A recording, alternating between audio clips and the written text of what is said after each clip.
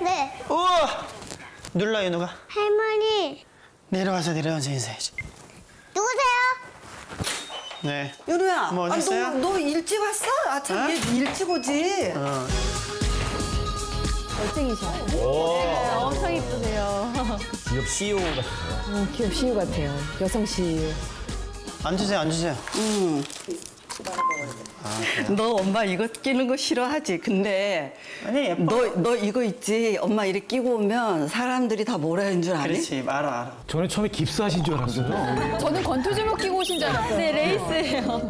어머, 너무 예뻐요. 맞아, 이 맞아. 서점에서도 여자가 그러더라. 어머, 너무 예뻐요. 어디서 샀어요? 영국 무슨 그 귀부인이 하는. 일종의 그런데 이제 멋내기 요 장갑이지. 사서 상병 샀어. 여기, 윤혜, 윤혜 여기 놓을게. 사서 삼성. 이거 읽으라고 사오신 거예요. 누구 읽으라고? 어머님이 읽으시려고. 이걸 읽는다고? 아 이거 아, 예전에 엉아 고등학교 때 그 걔네들 논술 그것 때문에 이제 이 사사삼경에 나오는 이런 책들이 있었어 설명서 해가지고. 어 근데 너무 내용이 너무 괜찮고 욕심이 나는 거야. 어머니 굉장히 교양 있는 네, 책 되게 좋아하시고. 바지만 입고 자자. 위에 거는 시원하니까. 가, 코 자고 와. 조금만 자고 와 가자. 쉬고 계세요? 응.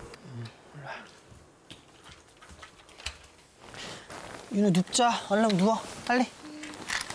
옆으로 누워야 돼. 여기 이- 이거 있으니 불편하니까.